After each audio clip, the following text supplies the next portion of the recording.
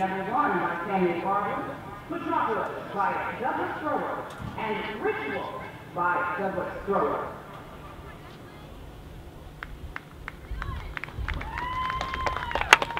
Let's go, guard!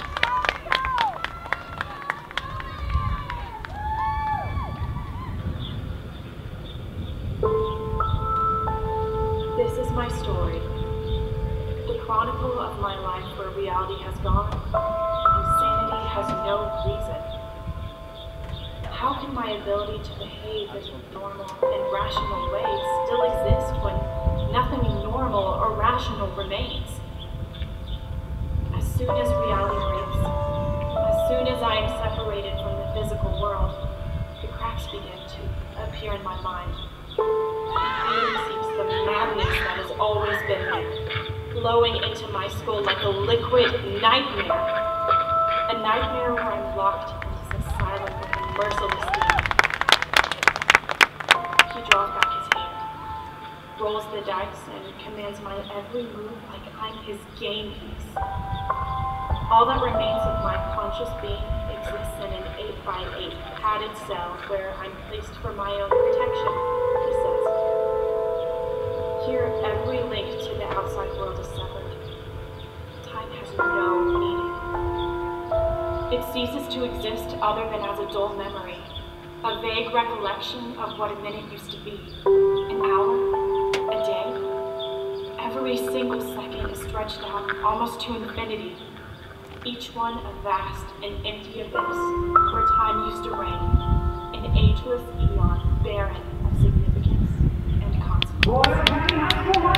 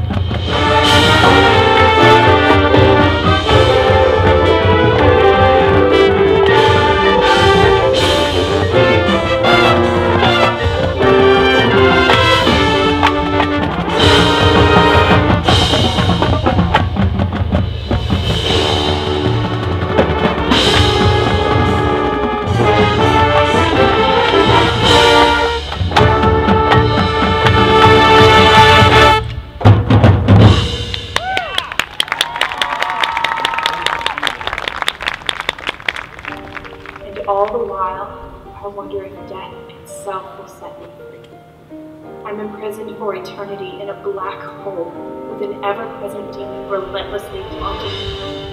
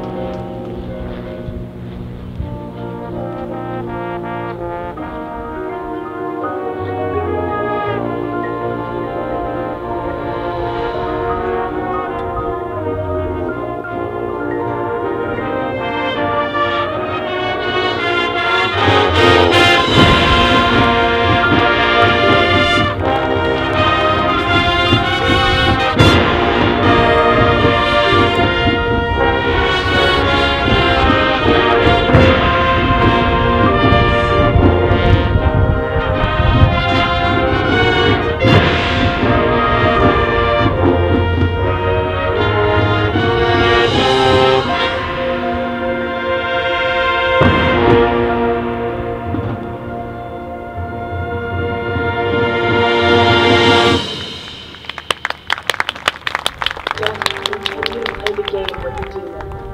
I incessantly press on around his game board in hopes to finally be free, to just get a glimpse of my former life, my life before he banished me to this emptiness.